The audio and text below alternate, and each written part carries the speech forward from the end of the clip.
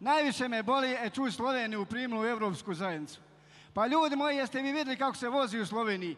Prva, druga granica. Čovjek u Ljubljani otvori kišobran, onaj utjali u oko ga ubodol, kaže. Eći, to primilo u Europsku zajednicu, a naš nećeva.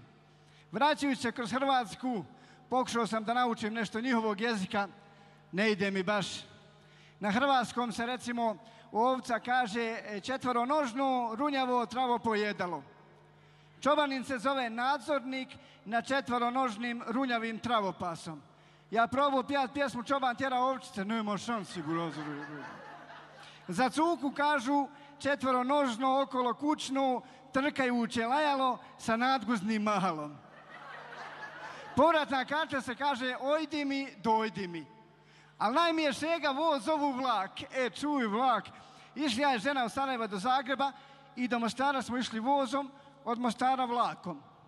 Znači od Sarajeva do Mostara smo se navozali, od Mostara do Zagreba navlačili, ne?